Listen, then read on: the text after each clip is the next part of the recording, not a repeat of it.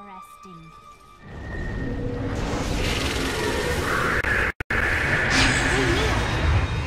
Dyer's bottom tower.